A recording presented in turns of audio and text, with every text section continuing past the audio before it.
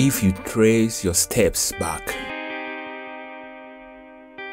So called dead end return to many opportunities.